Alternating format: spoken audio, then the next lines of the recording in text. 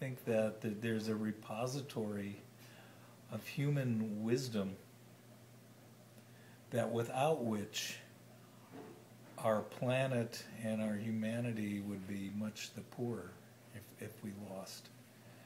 And I mean, the Tibetans have studied things we in the West barely have even have a glimpse of in terms of what is our humanity and um, our spirituality and um,